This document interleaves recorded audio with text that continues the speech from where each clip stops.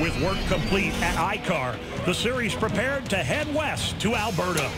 The first stop was Edmonton International Raceway, the quarter-mile semi-banked oval in Wetaskiwin, Alberta. This home track just south of Edmonton may be operated by Ron and Loretta Thiering, but for one day in July in the Alberta Has Energy 300, it was owned by none other than Scott Steckly. DJ Kennington is another racer who enjoys his time out west, but a medical mishap at ICAR made it an adventurous journey. I ended up getting a coronary ulcer in my eye. Then I had to drive the hauler out west, and it got so bad on Sunday morning when I was driving, I had to stop at the hospital in North Bay, and that was a tough trip for us. But um, all in all, it ended up being okay. By the time I got to Edmonton, the eye was in good shape and ready to go.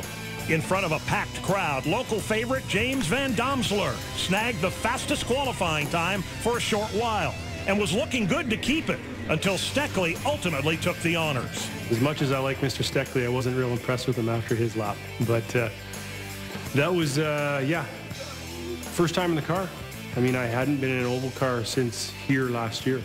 So we were pretty happy, to say the least, yeah. Kind of over the moon. Edmonton International Raceway has a reputation for being a gritty and tough place to race. It has very little straightaway and an outside groove that takes a while to work in. The outside is just brutal there. That's why uh, you need to time yourself trying to make the best you can to stay inside. You know, if you're outside, then you need to shake up your cage a little bit, but um, it's rough. As the summer prairie sun dipped below the horizon, Steckly had his 22 car handily in charge. Rookie of the Year candidate Marc-Antoine Camirand and his 99 White Motorsports Chevrolet was new to the oval game.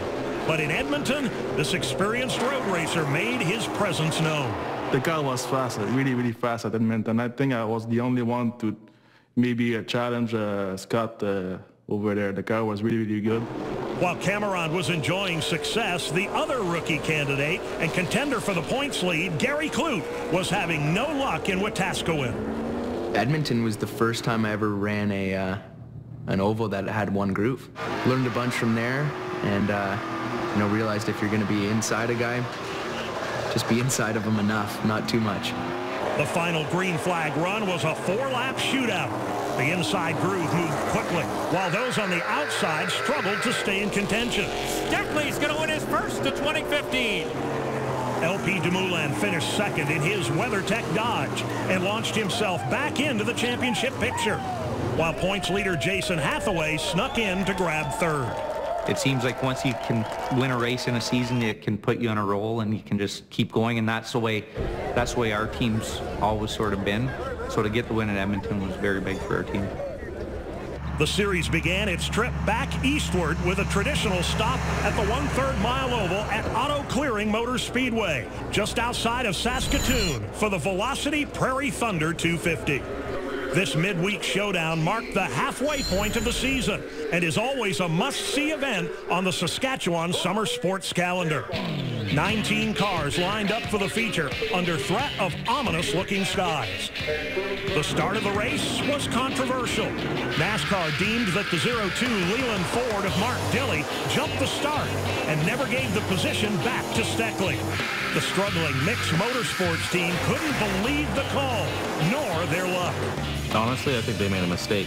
They just made a mistake, and uh, Mark gave it back, and they didn't see that he gave it back. Um, I don't know how much. The question is how much you're supposed to give it back. Well, I, I believe it's, uh, you know, an inch.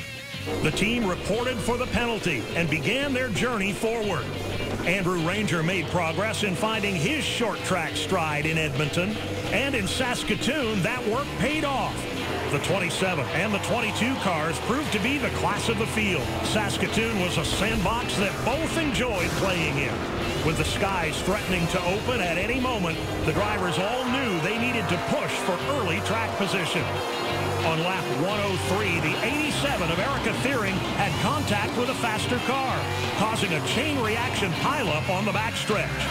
With nowhere to go, her teammate Joey McColm plowed into her driver's side door. My first concern was for Erica because it was a very, very hard hit in the driver's side door.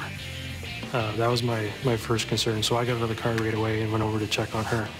It was cars everywhere. Uh, when the 99 moved and, and I saw what was going on, that was it was game over before the game even started.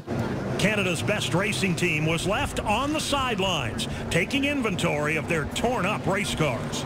And when the green flag flew again, Mark Dilley raced back into contention, while Gary Klutt and DJ Kennington kept pace. All three drivers were looking to turn their seasons around and were enjoying the speed that Saskatoon delivers. The early threats of rain never materialized, and the action settled in somewhat in the late running as Westerners James Van Donselaar, Jamie Krizik, and Noel Dowler made a push toward the front. A final caution set the field up for a four-lap shootout with Steckly, Hathaway, Ranger, and Camirand leading the way. Both the number three of Hathaway and the 27 Dodge of Ranger made a hard charge, but neither could keep pace with the 22. Make it two in a row for the Canadian Tire Dodge. Steckly wins in Saskatoon. Scott Steckly, the 42-year-old three-time champion from Milverton, Ontario, claimed the win to sweep the Western swing and take control of the points lead. Going into the second half of the season, the Canadian Tire team was finally hitting their stride. Coming up next, the long month of July draws to a close at Autodrome St. Eustache. You're watching the 2015 NASCAR Canadian Tire Series Year in Review, powered by Mopar.